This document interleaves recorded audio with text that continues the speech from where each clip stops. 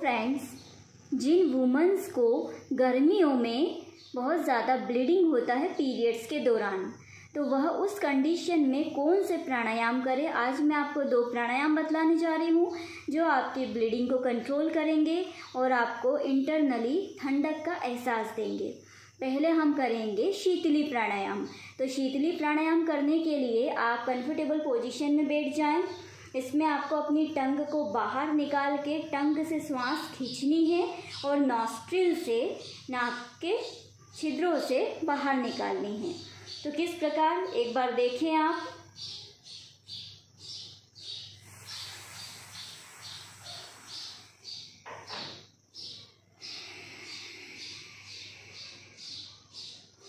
इस प्रकार आपको शीतली प्राणायाम करना है। एक बार और करेंगे हम। आँखें बंद करें।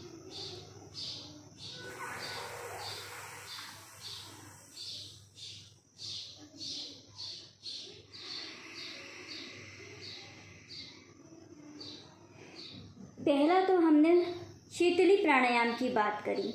अब सेकंड शीतकारी प्राणायाम। जिन लोगों से, जिन महिलाओं से टंग रोल नहीं होती है, वह अपने दांतों के थ्रू करें। शीतकारी प्राणायाम किसे कहा जाता है? इसमें आपको अपने दांतों को आपस में ज्वाइंट करना है और जो भी हमारे दांतों के बीच में गेप है, उससे आपको श्वास खींचनी है और नॉस्ट्रिल से छोड़नी है। और टंग को अंदर, जो लाइन पर ऊपर की ओर रोल करके रखना है, जब आप श्वास खींचें। और नॉस्ट्रिल से जब आप छोड़ें, तब आप टंग को रिलैक्स कर लें। किस प्रकार? एक बार देखें।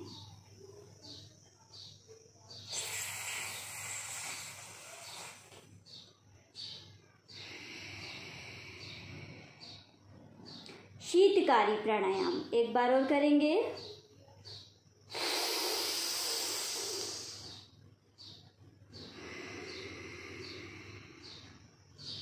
और जब आप अपनी टंग को रोल करते हैं, दांतों को जॉइंट करके श्वास खींचते हैं, उसके बाद आपको अपने सलाइवा को गटकना है। फिर श्वास छोड़ना है।